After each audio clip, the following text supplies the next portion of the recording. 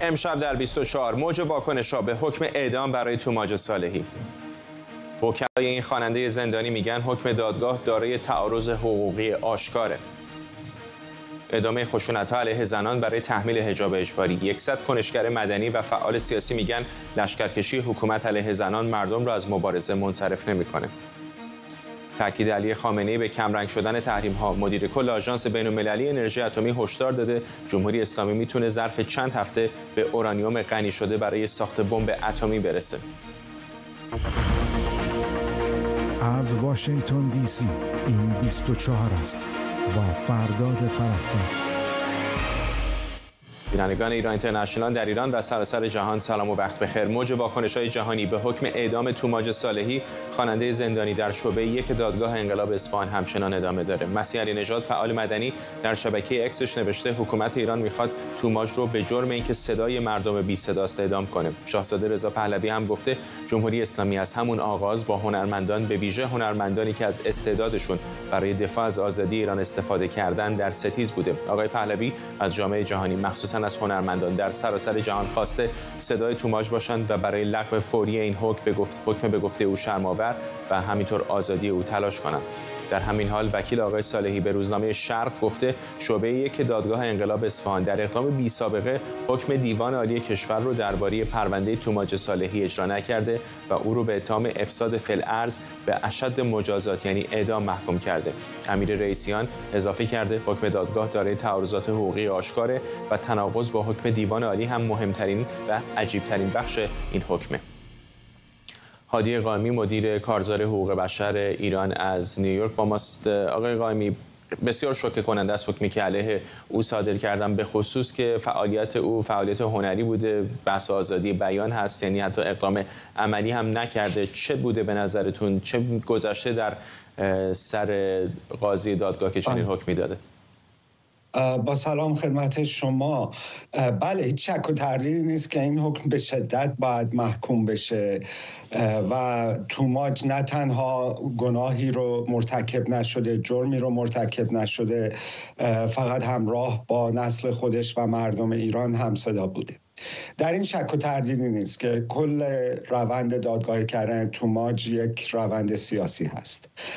اما این نقطه عطفی هم هست در اینکه آنچه که به عنوان قوه قضاییه در جمهوری اسلامی ارائه میشه نشون داده که به هیچ وجه لیاقت این عبارت رو نداره و این نقطه عطف نقطه نهایت ورشکستگی و بیعدالتی این نهاد رو نشون میده. چرا که یک دادگاه پایینتر کاملا از حکم دادگاه بالاتر دیوان عالی کشور به اون هیچ اعتنایی نکرده. اون رو به چالش کشیده و بر علیه اون شدیدترین حکم رو صادر کرده. دادگاه بالاتر گفته که به هیچ وجه اون حکم حبس شما هم دلیل دلیل قضایی نداره. و این نشون میده که این در زمان حاضر قضات دادگاه های انقلاب نه تنها به کتاب های قانونی که خود حکومت نوشته و بر ما تحمیل می‌کنه به اسم قانون و عدالت اعتنایی نداره ساختار این نهاد هم بی معناست و در حقیقت یک ماشین سرکوب هست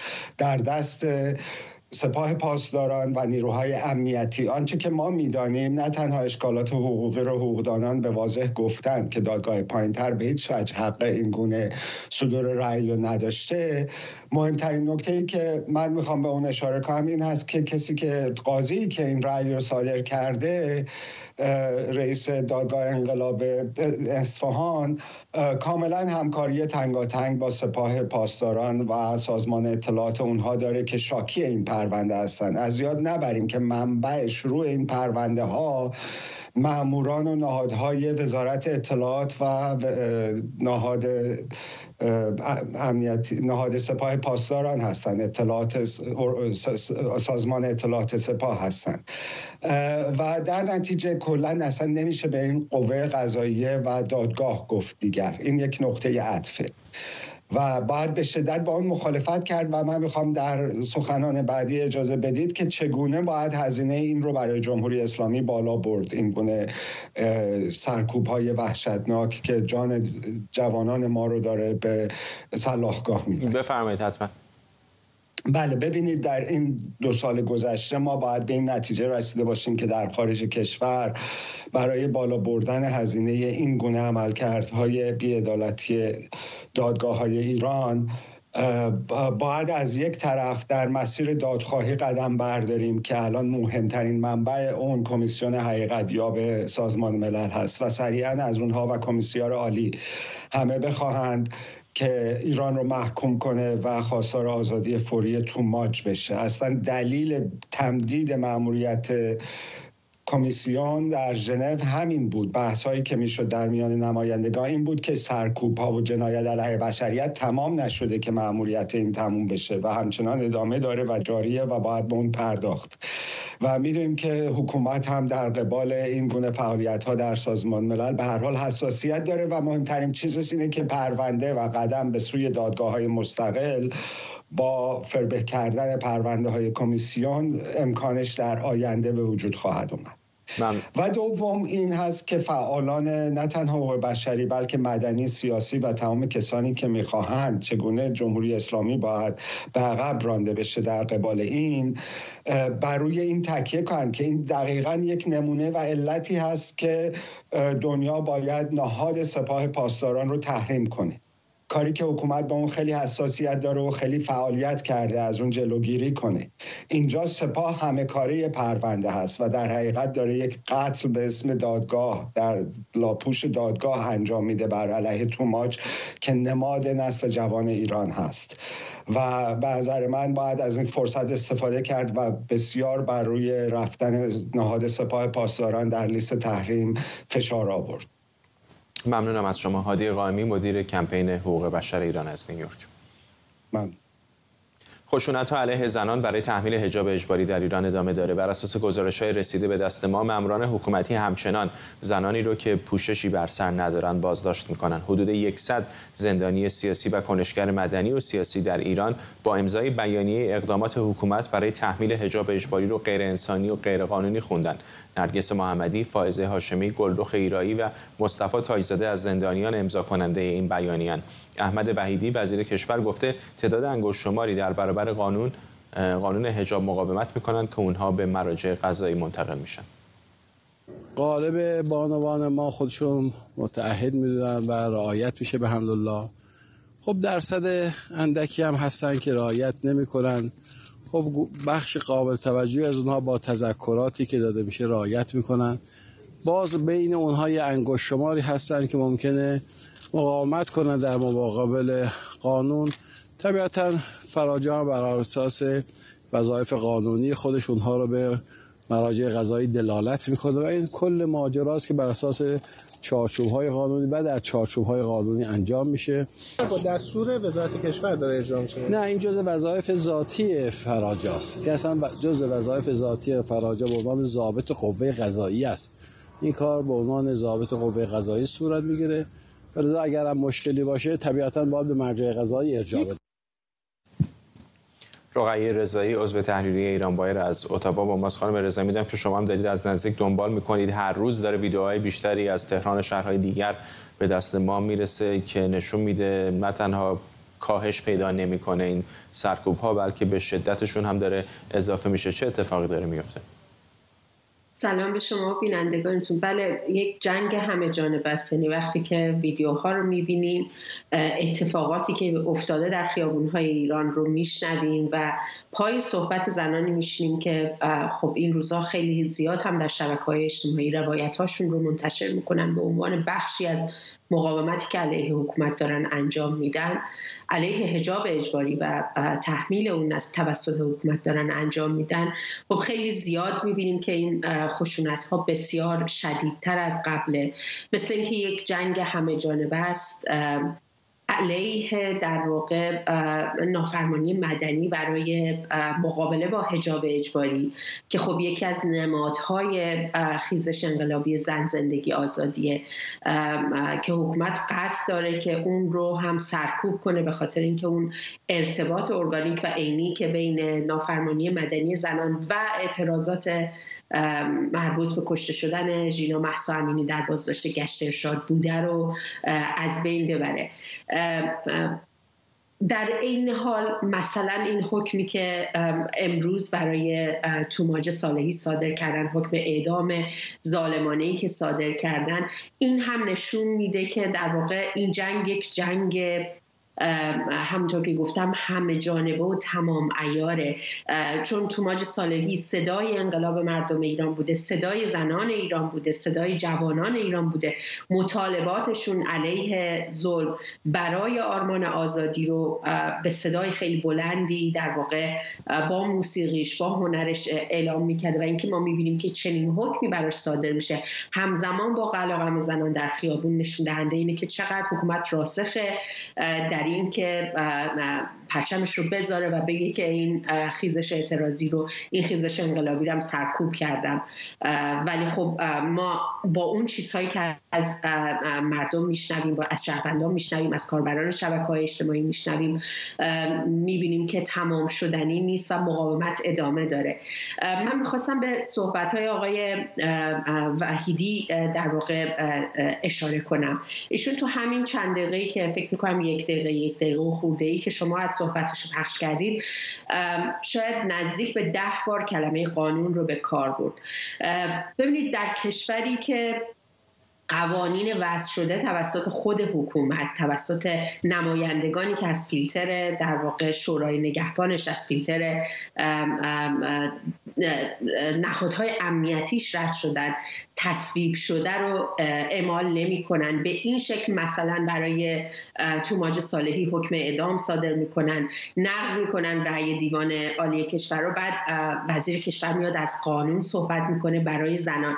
ایشون همون کسی است که قبلا در مورد در مورد مثلا اینکه حجاب ها رو وزارت کشور آورده یا نه دروغ گفت تو چشم رسانه ها نگاه کرد تو چشم مردم نگاه کرد و دروغ گفت. بعد روزنامه اعتماد اومد سندش رو علنی کرد و مشخص شد که ایشون دروغ گفته و وزارت کشور نقش داشته توی حضور اجابانا و نقش داشته در کشته شدن آرمیتا گراوند. دختر 16 ساله که در مترو در مهماه تحت حمله قرار گرفته جانش را از دست داد اما اگه بخوام برگردم به این که چرا چنین رفتارهایی رو انجام میدن. ببینید از طرفی حکومت می‌بینه که خورده مقاومت ها ادامه داره. مردم همدیگر رو پیدا می‌کنن. مثلا اون ویدیویی که از مترو هفته تیر فکر می‌کنم دیروز بود که منتشر شده بود. مردم با شعار دادن مانع شدن که اون زن بازداشت بشه زن توسط گشت ارشاد بازداشت بشه. اینا همه نشون دهنده اینه که مقاومت هرچند در سطح خیلی شاید انفرادی شاید خیلی محدود ادامه داشته باشه ادامه داره. سرکوب نتونسته تمام مطالبات مردم رو در واقع له کنه از بین ببره. و کسانی هستند که همچنان به آرمان آزادی خواهیشون پایبندن. این نکته دیگه که وجود داره اینه که روایت ها واقعا ترسناکه. ولی مقاومت همونطور که گفتم هم ادامه داره. و فکر می‌کنم جودیت باتلر فیلسوف آمریکایی که به این اشاره می‌کنه که در عین آسیب پذیری مقاومت هم در جریان اینها در هم تنیدن. زنان ایران جوانان ایران در موقعیت آسیب پذیری هستن ولی توان خودشون قدرت خودشون برای مقاومت رو نباید دست کم بگیرن چون قدرت نهایتا از آن مردمه. ممنونم از شما رقیه رضایی عضو تحریریه ایران وایر از اتاوا علی خامنه ای رهبر جمهوری اسلامی گفته تحریم ها کمرنگ شده و ملت ایران را از پا در نمیاره. آقای خامنه ای با انتقاد از موضع آمریکا در قبال برنامه هسته جمهوری اسلامی گفته آمریکا قصد داره تجهیزات هسته ایران رو مانند کشور شمال آفریقا جمعآوری و صنعت هسته ایران رو تعطیل کنه. امسال هم گفتیم جهش تولید نه افزایش تولید جهش تولید که جهش پیدا کرد کشور ثروتمند میشه. آهاد مردم ثروتمند میشن. کارگر جیبش پر میشه. این تحریم ها هم اثرش به تدریج داره. کمرنگ میشه. یه چند سال تحریم کردن دیدن پایده ای نداره. منابع معتبر جهانی میگن رشد مثلا فرض کنید که تولید ناخالص ملی ایران در این سال از سال قبل بیشتره. خب چرا بیشتره؟ چون بیشتر کار می‌کنن چون بهتر کار می‌کنن. چون تحریم ها اونها رو از پادر نمیاره چون دل به کمک بیرون از کشور و بیرون از مرزها نمیبندن. علی افشاری تحلیلگر سیاسی از واشنگتن اینجا در استودیو با ماست. آقای افشاری آقای خامنه میگه علیرغم همه این تحریم ها ببینید رشد اقتصادی داریم. حالا بعضی آمار هم نشون میده بالاخره با یک کم و کیفی دارن 3 درصد 2 درصد 4 درصد بسته به اینکه کدوم آمار رو در نظر بگیرید. و اگر راه دیگری بریم مثل کشور شمال آفریقا اشارش طبیعتا به لیبی است و سرنوشت قذافی خواهیم شد. خب نه این که صورت پردازی های کاذب و غلطی هست که می‌کنه. ولی به نظر من صحبت امروز خامنه ای رو باید بگذاریم به مذاکرات غیر مستقیمی که بخشی در عمان داره انجام میشه بخش قطر هست. تا حدود باز عراق هم و ها نقشه میانجیگرانه رو داره. یه بنبستایی در اونجا هست. وگرنه اگر جمهوری اسلامی با این نگاهی که آقای خامنه امروز داره میگه دلیلی نداره که همین مرده برجام رو حفظ بکنه. بالاخره در تابوت. باید رسما و علنا این پرونده رو ببنده. همون ادعایی که این تیمی که الان بر سر قدرت هست وقتی برجام تاسیس اون یک سند خیانت آمیز می‌دونسته خامنه هیچ وقت مسئولیت رو قبول نکرده. ولی مسئله اینجاست که اصلا لیبی این بحث خیلی تو ایران هستن و هست حکومت. تو مردم هم هست. مثلا یه تلقی دارن که این ابرقدرت جهانی هر کاری رو می‌تونه بکنه و هر کار اصلا اراده بکنه می‌تونه یه حکومتی رو بندازه و ترجیحاتش هم اینه. خب این گونه نیست به واقع. یعنی لیبی به خاطر نه بقایش نه افتادنش سر توافقش با آمریکا نبود. درسته. اون اتفاقات داخلی افتاد که اگر اونم در ایران بیفته خامنه ای حریف و موج نخواهد شد. همونطور که در جنبش انقلابی زن زندگی آزادی تا لب بالاخره پرتگاه رفت. منتها این ذهنیت پشت سر این حاکمان اقتدارگرا اینه که نمی‌خوان قبول بکنن که مردم قدرتی پیدا کردن. مقابل اونا بیستن. ساده راه انتخاب می‌کنن منتصبش بکنن به قدرت جهانی که با اونها در حالت متخاصم هستن و اینها. منتهای مراتب ولی این بخش حرفش که قذافی سلاح هستش رو کنار گذاشت و موقعی هم که اعتراضات در بهار عربی در لیبی صورت گرفت خب یک ائتلاف بین المللی که آمریکا هم و کشور اروپا هم درش نقش داشتن نقش بازی کردن روی زمین دیگه. اینطوری نبود بله. در خلا اتفاق افتاده نه در خلا نیفتاده. ولی اول اون جنبش انقلابی سکشه گرفت در لیبی که باعث شد که لیبی دیگه هواپیما بیاره بالون بمباران بکنه. اون ائتلاف این گونه نرفت. اطلاف به به ساکن نرفت پیروزی مردم. الان هم اگر جمهوری اسلامی به جای برسه بخواد حتی خب شرایط جهانی عوض شده یه خود با اونطور موازن قوای جهانی. الان کشور قرص اون موقع خب روسیه اگر گارد الانش داشت شاید نمی‌تونستن برن در لیبی برخورد بکنن. این رو هم باید در نظر بگیریم. اما امروز به نظر من بحث اصلی خامنه ای این بود که مستقل از اینکه جمهوری اسلامی الان بمب اتم داره یا نداره یا در آینده خواهد داشت عملا اون قدرت رو پیدا کرده برای بازدارندگی. یعنی بدون اینکه خود سلاح داشته باشه در جایگاه نمایش سپاه قرار گرفته و در محاسبات نیروهای متخاصمش این میاد. مثلا الان به حال بخشی از هیئت حاکمه اسرائیل اعضای حزب ساش اینا مخالف بودن که دولت اسرائیل حرکت تلافیجویانه بزرگی رو انجام بده. چرا؟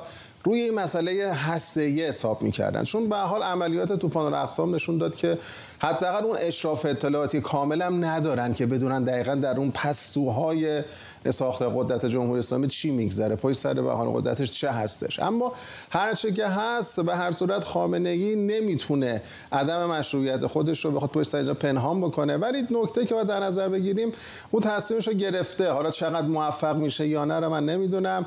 اکثریتی رو بی دولت کرده. کاملا نهاد حاکمیتی حذف کرده. اینها مطالباتش و خواسته هاشون هیچ جا نیست. اقلیت وفادار به خودش هم در قالب دولت مافیایی داره. جلو می‌بره. این نظامیگری هم به کار اون دولت مافیایی میاد. برای اون نمایشی که می‌خوان به حال نشون بدن ارعابی که در داخل و در سطح منطقه ایجاد بکنن به کارش میاد. حالا چقدر در موفق میشه یا نه تابعی از فاکتورهای زیادی هست. ولی دل خوش کردن به اینکه ما نمی‌دونم تسلیم نشدیم ما جلو غرب نایستادیم این پاسخگو نیست. از طرفی هم معلومه تا کی می‌خواد زیر بار این فشار سنگین اقتصادی تحمل بکنه. چون به حال به زودی تحریم های نفتی حالا اگر تحریم های جدید هم اعمال نشه قبلی ها در اجرا و سختگیری بیشتری مواجه میشه و کارش رو سخت می‌کنه. ممنونم از شما علی افشاری تحلیلگر سیاسی اینجا در استودیو. بعد از تصویب شدن شش طرح در سنای آمریکا با 79 رأی موافق در برابر 18 رأی مخالف جو بایدن رئیس جمهوری آمریکا همین قانون رو قوانین رو امضا کرده. یکی از این طرحها حقوق بشر و پاسخگویی امنیتی محسا امینی موسوم به قانون محسا است. هدف قانون محسا تحریم خامنه ای و رئیسی و نهادهای مرتبط با آنها به دلیل نقض حقوق بشر و سرکوب معترضان در ایرانه. این قانون ابراهیم رئیسی رو ناقض حقوق بشر می‌دونه و نقشش رو در سرکوب معترضان برجسته می‌کنه. قانون محسا به عضویت آقای رئیسی در هیئت مرگ جمهوری اسلامی در سال 1367 اشاره می‌کنه. هیئت مرگ کمیته برای تصمیم گیری درباره اعدام زندانیان سیاسی در اون سال بود. این قوانین تحریم های سختگیرانه و سایر اقدامات تنبیهی رو برای مقابله با نقض حقوق بشر برنامه هسته‌ای حمایت از تروریسم برنامه موشکی و پهپادی و دیگر رفتارهای مخرب و بی‌ثبات کننده جمهوری اسلامی در نظر می‌گیرند. سنای آمریکا همینطور بسته کمک 95 میلیارد دلاری برای اوکراین اسرائیل و تایوان را تصویب کرده. رئیس جمهوری آمریکا بعد از امضای این قوانین با تاکید بر تعهد واشنگتن بر امنیت اسرائیل گفت اطمینان حاصل می‌کنه که اسرائیل هر آنچه برای مقابله با ایران و نیروهای نیابتیش نیاز داره رو در اختیار داره. کمی بیش از یک هفته پیش شامل شاهد یک حمله بزرگ موشکی و پهپادی ایران علیه اسرائیل بودیم. البته که خسارات جدی به عمل نیومد ولی خب سالها حمایت ایران از حزب الله، حماس و نیروهای نیابتی دیگرشون این نیروها بودند که برای سالها با کمک مالی ایران علیه اسرائیل حملاتی رو انجام می‌دادند. و من تکرار می کنم که حمایت ما و اراده ما برای حمایت از اسرائیل آهنینه. اطمینان حاصل خواهیم کرد که اسرائیل بتونه از ایران از خودش در برابر ایران و دیگر گروه های تروریستی دفاع کنه. کمک های ما به پدافند هوایی اسرائیل کمک خواهد کرد تا ایران هرگز نتونه حملات مورد نظر خودش رو مثل حمله نزدیک به دو هفته پیش انجام بده. بهنام بن طالبلو پژوهشگر ارشد در بنیاد دفاع از دموکراسی اینجا در استودیو دوباره به ما پیوسته آقای بن طالبلو کدام بخشای این طرح هستش که فکر می‌کنید دندانی برای تاثیرگذاری عملی روی زمین در ایران دارن؟ مرسی مجدد مرسی که ما دوباره آوردی. واقعا میان این چهار تا ماده این supplemental package قانون SHIP Act که در کنگره زیر هدایت و رهبری congressman Lawler اول به تصویب در, در House و House Foreign Affairs رسیده بود. SHIP Act می‌تونه بزرگترین تاثیر اقتصادی رو روی جمهوری اسلامی ایران پیاده کنه. چون یک درخواستی هم تو اون لایه هست که اینه که دولت آمریکا نیاز به یک راهبردی داره که مانع این خریداری قاچاقی نفت و پتروشیمی ایران و چین رو یه جوری کات کنه و نیازی که هست که یک راهبرد اقتصادی رو در رابطه با این صدورهای غیرقانونی نفت ایران رو بگیره. که همین الان بخش مهمی از صادرات نفت ایران اتفاقا به چین هست. حرف از بعضی اوقات بالای یک میلیون بشکه در روز هست. خیلی ها میگن همین الان هم تحریم های وجود داره که اگر آمریکایی‌ها بخوان واقعا اعمالش بکنن می‌تونن مانع از دست کم بخش از این تراکنش ها بشن ولی نمی‌کنن. چقدر این شیپ اکت فکر می‌کنید ممکنه صحنه رو تغییر بده؟ احتمالش هست که می‌تونه صحنه رو تغییر بده ولی همون چون نیرو در وزارت خزانه کمه و کمبودی اراده در حال حاضر یعنی در کوتاه مدت تا نرسیدیم به انتخابات توی کاخ سفید کمه هیچ کدوم از این قانونا نمی‌تونن معادلات 100 درصدی رو عوض کنن. الا اگه مثلا reporting requirement مجدد در بیاد که بگه آره ایشون زیر این تبصره می‌تونه تحریم باشه. آره یا این فعلا این راهبرد ما می‌تونه باشه در رابطه با ایران و چین. واقعا به نظرتون کمبود نیرو یا موضوع policy یه؟ برای اینکه الان که مثلا سربازان آمریکا که وسط اقیانوس هند نمیرن کشتی رو بگیرن. تحریم می‌کنن اون پالایشگاهی که سوخت اون می‌رسه دیگه اگر بخوان بکنن. دقیقاً. ولی اتفاقا جالبه. دولت بایدن نسبت به دولت ترامپ بیشتر از لحاظ DHS و از لحاظ اسید فورفیچر رفته بود جلو نفتکشای ایران رو تحت تسخیر کرده بود و اون نفت رو فروخت. ممنونم از شما. بهنام بن طالبلو پژوهشگر ارشد در بنیاد دفاع از دموکراسی اینجا در استودیو با پارلمان اتحادیه اروپا با حمله جمهوری اسلامی به اسرائیل پیشنهاد تصویب یک قطعنامه علیه تهران رو ارائه داده.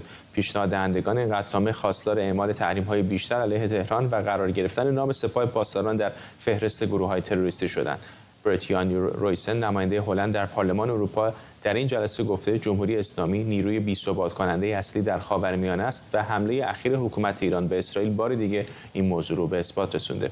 چارلی وایمرز نماینده سوئد در پارلمان اروپا هم در این جلسه مسئول سیاست خارجی اتحادیه اروپا رو به دروغگویی متهم کرد و گفته بر اساس نظر قضایی محرمانه شورای اتحادیه اروپا نیازی به حکم یک دادگاه اروپایی برای تروریستی اعلام کردن سپاه پاسداران است وایمر خطاب به بورل گفته بورل این سند رو در اختیار داشته و با وجود اینکه از این واقعیت با خبر بوده به گفته او بیشرمانه از قرار دادن نام سپاه در فهرست گروه های تروریستی سر باز زده. نماینده آلمان در پارلمان اروپا در این نشست خطاب به مسئول سیاست های خارجی اتحادیه اروپا خواستار برخورد فعال جوزف بورل با جمهوری اسلامی شد. هانا نویمن تاکید کرد حکومت ایران به سوی تنشزایی بیشتر پیش میره. آقای بوره هفته پیش رژیم ایران اولین حمله مستقیمش به خاک اسرائیل رو جشن گرفت و همچنان داره مفاد توافقنامه هسته ای رو لغو می‌کنه. یک گوشه نشستن تعلل و دیپلماسی به تنهایی دیگر کافی نیست.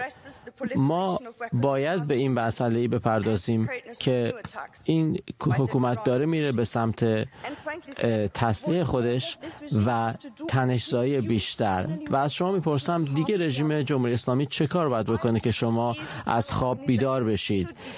سپاه پاسداران یک رژیم تر... یک سازمان تروریستی است و باید که فهرست بشه به عنوان سازمان تروریستی. حملاتی که به اسرائیل انجام میشه موشک هایی که در دریای سرخ استفاده میشه اینها باید که ممنوع می‌شدن به واسطه تحریم هایی که ماها پیش وضع شده بودند. و نکته آخر رژیم جمهوری اسلامی به صورت مشروع نماینده مردم ایران نیست و شما باید دست بردارین از وانمود کردن که چنینه. بنابراین از شما انتظار داریم که تحریم های موجود رو سرانجام پیاده کنید. جوزف بورل مسئول سیاست خارجی اتحادیه اروپا در پاسخ به نمایندگانی که خواستار قرار دادن نام سپاه پاسداران در فهرست گروه های تروریستی شده بودند گفت باید دوباره به مدرسه برگردن و ریاضی بخونن چرا که 500 عضو سپاه در فهرست تحریم اتحادیه اروپا هستند.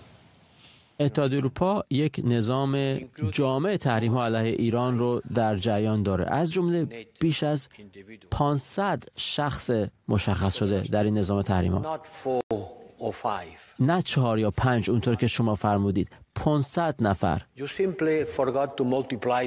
شما فراموش کردین که رقم خودتون رو ضرب در صد کنید. این یک اشتباه کوچکیه.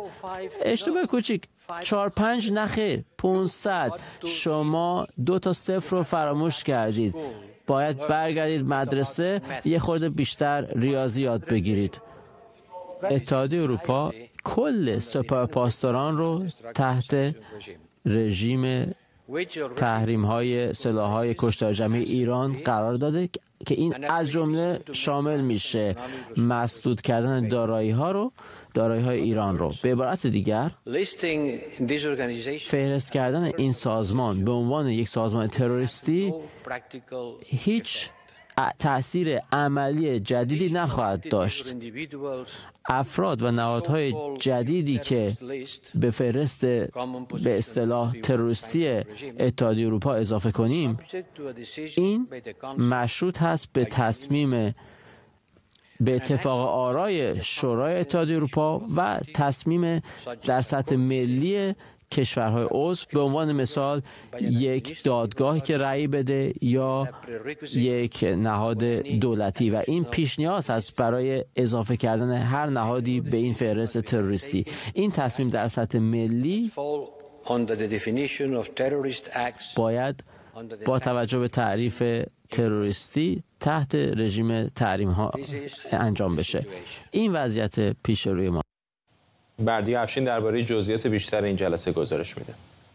نمایندگان پارلمان اتحادیه اروپا که در پاسخ به حمله جمهوری اسلامی ایران به اسرائیل این قطعنامه رو پیشنهاد دادند طی اون خواستار تغییر جدی رویکرد اتحادیه اروپا در قبال جمهوری اسلامی شدند و در طول جلسه روز چهارشنبه هم علنا خواستار پایان دادن به چیزی شدند که اونها مماشات دیپلماتیک اروپا با تهران می‌خونند و در مهمترین بندهای قطعنامه پیشنهادی اونها از نماینده عالی اتحادیه اروپا در سیاست خارجه و امور امنیتی خواستند که در استراتژی کنونی اروپا در قبال با تهران تجدید نظر کلی کنند و تلاش کنه اتحادیه اروپا که به کمک شرکاش یک استراتژی نوین تدوین کنه که منجر به انزوای دیپلماتیک جمهوری اسلامی بشه چرا که اونها تهران رو ناقض حقوق بشر در ایران می‌دونند و برهم زننده امنیت منطقه و جهان. برای همین خواستند که فهرست تحریمی های اتحادیه اروپا گسترش پیدا کنه و کسانی مثل رهبر علی خامنه ای رئیس جمهور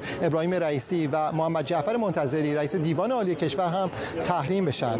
خواسته اونها البته به اینها ختم نمیشه و اونها به دلیل اون چیزی که رفتار خصمانه جمهوری اسلامی می‌خونن میگن همه مذاکرات در مورد احیای برجام هم باید متوقف بشه و علاوه بر این اگر قرار بهبود در روابط اقتصادی با تهران صورت بگیره باید مشروط به توقف نقض جدی حقوق بشر توسط جمهوری اسلامی بشه. اما یادآوری کنم اونها طی قطعنامه هم تاکیدی بر اجرای کردن مصوبات پیشین اتحادیه داشتن به خصوص قطعنامه‌ای که 16 ماه پیش اینجا تصویب شده بود. اون زمان در اوج جنبش زن زندگی آزادی چند ماهی پس از کشته شدن جینا محسا امینی قطعنامه‌ای که تاریخی خوندنش و طی اون نزدیک به 600 نماینده پارلمان اتحادیه اروپا اینجا خواستار این بودند که سپاه پاسداران انقلاب اسلامی یک نهاد تروریستی خونه بشه از سوی اتحادیه اروپا.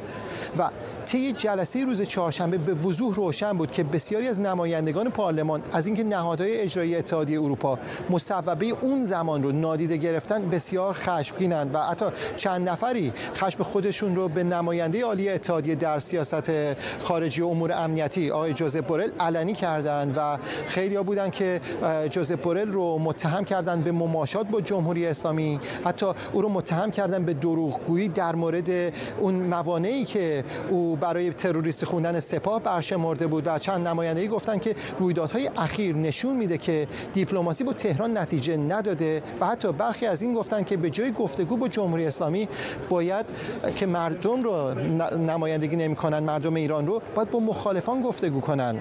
جوزف بورل در پاسخ به اونها گفته که همچنان باور داره به نتیجه بخش بودن دیپلماسی. اون هم به گفته او دیپلماسی حداکثری و استفاده از همه مجراهای موجود دیپلماتیک و در مورد تحریم هم گفته که تحریم یک هدف سیاسی نیست یک ابزار و سابقه هم نشون داده که به گفته او تحریم ها در مهار جمهوری اسلامی خیلی موثر نبوده و او تاکید کرد که همین الان هم تحریم های بسیاری اعمال شده که اونها باید درست اجرا بشن به عقیده آقای جوزف بورل و او در مورد تروریستی خوندن سپاه پاسداران هم گفته که مشاوره گرفته می‌دونه این مسئله ای که ابتدا تک تک کشورهای عضو اتحادیه درباره اون باید تصمیم بگیرن و بعدا به اجماع گذاشته بشه. و در کل او گفتش که این اقدام رو یک اقدام کاربرانه و موثر نمی‌دونه. ما منتظر باید بمونیم که روز پنجشنبه این قدنامه پیشنهادی قراره که به رأی گذاشته بشه برای تصویب شدن یا نشدنش.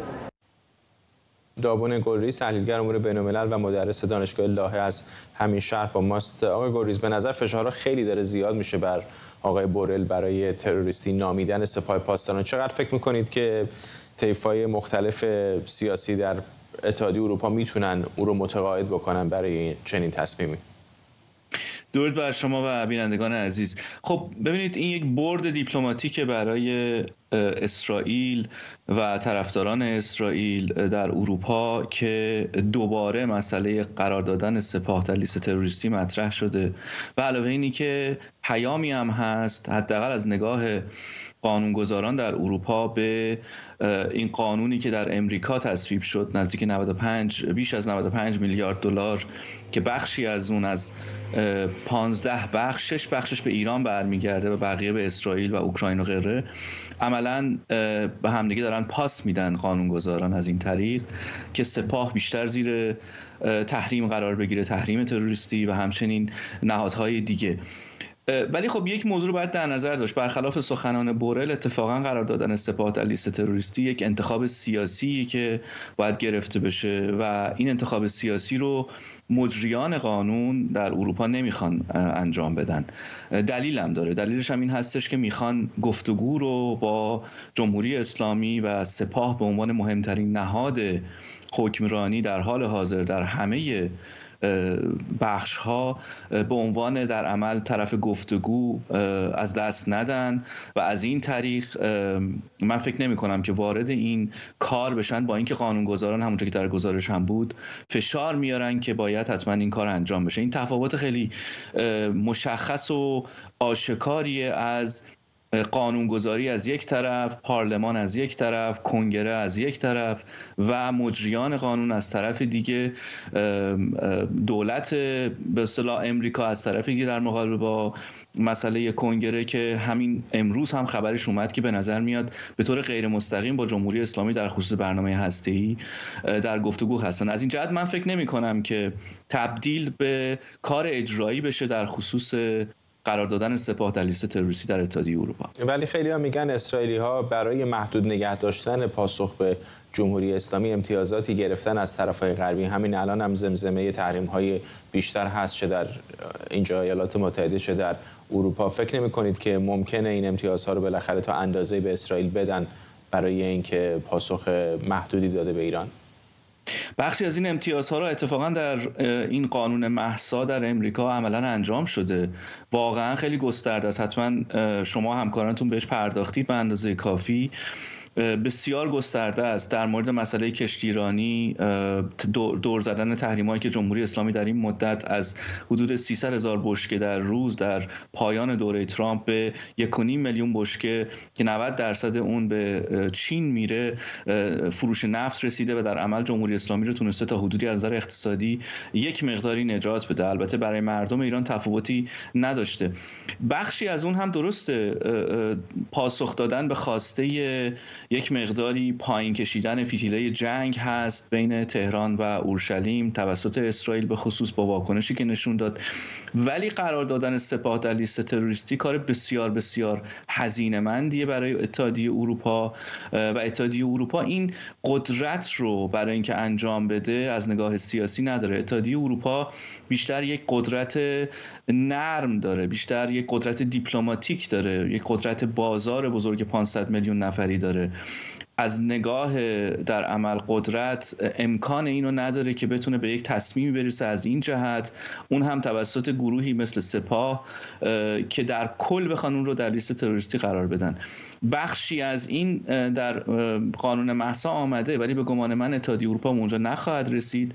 احتمالا بخشهایی از نیروهای سپاه نیروهای سپاه قدس افراد رو همونجور که بورل هم توضیح داد در گروه های تروریستی قرار خواهند داد. ولی کل سپاه رو به عنوان یک نهاد در به عنوان تروریستی اعلام کردن هزینه بسیار زیادی داره که من نمی‌بینم این اراده در اروپا وجود داشته باشه متاسفانه. ممنونم از شما. دامون گلریز تحلیلگر امور بین الملل و مدرس دانشگاه لاهه از همین شهر با وزارت خارجه آرژانتین از اینترپل خواسته احمد وحیدی وزیر کشور جمهوری اسلامی به دلیل نقشش در بمبگذاری سال 94 در مرکز یهودیان بونس آیرس بازداشت بشه. وزارت خارجه آرژانتین گفته احمد وحیدی جزء هیئتیه که همراه با ابراهیم رئیسی از پاکستان و سریلانکا بازدید می‌کنند اما خبرگزاری ایرنا از بازگشت این مقام به تهران و حضورش در یک مراسم دولتی خبر داده. آرژانتین ایران و حزب الله رو مسئول بمبگذاری آمیا می‌دونه که 85 کشته بر جای گذاشت. فردا اتحاد علیه مهره های جمهوری اسلامی در خارج از کشور کنفرانسی با عنوان فعالیت های تروریستی و تهدیدآمیز جمهوری اسلامی با هدف حذف و تهدید منتقدانش در بیرون کشور اینجا در واشنگتن برگزار می‌کنه. در این کنفرانس که با حضور شماری از جانبه در بردگان و یا وابستگان اونها برگزار میشه به ماجرای حذف 24 شهروند منتقد یا مخالفی می‌پردازن که در طول چهار دهه گذشته هدف رژیم ایران در بیرون مرزها قرار گرفته و جانشون را از دست دادن. پرویز دستمالچی نویسنده و پژوهشگر سیاسی اینجا در استودیو با ما. آقای دستمالچی شما مماس بودید با مرگ در اون حمله به رستوران میکونوس. پیش از برنامه داشتیم یکم گپ می‌زنیم در مورد اینکه چه بر شما گذشت در اونجا. ممکنه بسیاری از بینندگان ما در مورد جزئیاتش کمتر بدونن. سی سالی بیشتر از سی سال الان میگذره از اون حمله. اون لحظه ای رو برامون توصیف بکنید که دیدید که همراهانتون رو در میکونوس به رگبار بستن. بله.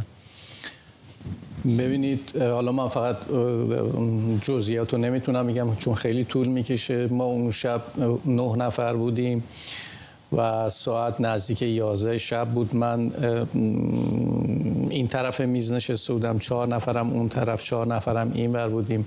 من داشتم با دکتر شرفکندی که در همین موقعیت شما نشسته بود سمت چپ روبروی من داشتم گفتگو می‌کردم. صحبت بر سر مسائل ایران و خارج از کشور و اپوزیسیون ایران و هماهنگی نیروها و اینا بود. بعد توی داشتیم که صحبت می‌کردیم کسی که سمت راست من نشسته بود این اومد تو حرف ما حرف ما رو قطع کرد شروع کرد به حرف زدن. من همینطوری برگشتم ببینم که ایشون چی میگه. بعد دیدم دو تا پای قوی چون نگاه من به طرف پایین بود. دو تا پای قوی اومد اونجا وایساد. فکر کردم که یکی از دعوت شدگانه یا هر چی. این نگاه هم اینطوری رفت بالا که ببینم که کی اومده. حالا اینایی که من دارم میگم در مثلا یک صدم ثانیه است که اتفاق افتاده. این نگاه من که می‌رفت بالا و به صورتش افتاد که تا زیر چشم پوشونده بود و این دستی که با مسلسل اومد جلو صورت من در یه وجبی و شروع کرد به طرف شرفکندی تیراندازی کردن. حالا اون موقع من فکر می‌کردم روی مسلسل دستمال انداختن. بعد معلوم شد که از درون یک ساک ورزشی دارن تحقیقات پلیس نشون داد و اینها. بعد من این صحنه رو که دیدم دیگه بقیش به طور غریزی جهیدم همینطوری عقب پشت سرم زیر یک میزی که اونجا بود. افتادم با شیکم اونجا. همین که من افتادم اونجا فتا عبدالی که سمت من نشسته بود شاید مثلا یک صدم ثانیه دیرتر از من صحنه رو دید. اونم جهید. اونم افتاد زیر همون میز. ما رو در صورت در صورت هم دیگه به فاصله 50 سانت. ولی اون در همون لحظه سه تا گوله خودودی که مستقیم به قلبش رفته بود در نتیجه دهنش پر خون بود و فوت کرده بود. همایون اردلان که یکی اون طرف در نشسته بود اینم سه تا گوله می‌خوره و پرت میشه روی زمین بیهوش میشه. بعد از اینکه دو تا رگبار مسلسل زده میشه یک لحظه سکوت شد. من همونجا که زیر میز افتاده بودم بدون که اصلا تکون بخورم فقط این نگاه همو از زیر میز آوردم بالا. اونجایی که مسلسل چیز ساده بود بینم رفتن نرفتن چیکار بکنیم. این نگاه من که رفت بالا من یک دستی رو دیدم که آستین مشکی داشت چون نفر اول که با مسلسل می‌زد لباس مشکی تنش نبود. من از آستین اون فهمیدم که این نفر دومه چون لباسش مشکیه که با کلت این دفعه به طرف شرفگندی تیر خلاص می‌زد و من این پرش و جهش دست و موقع تیر اندازی دیدم. توی این فاصله که عباس رایل به دکتر شرفکندی تیر خلاص می‌زد. همایون اردلان نماینده حزب دموکرات در آلمان که سه تا گوله خودود بیو شده به هوش میاد و نمی‌دونسته چی شده. سرش رو بلند می‌کنه و این می‌بینه میره بالا سرش اسلحه رو میزه رو شقش یکم می‌زنه توی سر همایون اردلان. من در اون لحظه از مغزم گذشت. شما ببینید یه لحظه است که شما اصلا فکر نمی‌تونید بکنید. به طور اتوماتیک انجام می‌گیره. از مغزم گذشت. اینا به تک تک چون به شرفکندی زد بود به همایون اردلان هم زد. فکر کردم که به تک تک ما فکر نکردم از مغزم گذشت که به تک تک ما تیر خلاص می‌زنن. و الان اونو زدن میان سراغ عبدالی. عبدالی هم که فوت کرده یکم به این می‌زنن بعدم یه دونه هم به خود من می‌زنن. که خب این اتفاق نیفتاد و اونا فرار کردن. و بعد از فرار پا شدیم. من پا شدم. سه نفر که در جا فوت کرده بودن. نفر چهارم نوری دهکردی بود که هفت گوله خورد بود ولی هنوز زنده بود. بعد از اینکه انتقالش دادن به بیمارستان نیم ساعت بعد فوت کرد. ممنونم از شما. پرواز دستمالچی نویسنده و پژوهشگر سیاسی اینجا در استودیو. و ممنونم از شما که ما رو در این بخش از برنامه 24 همراهی کردید.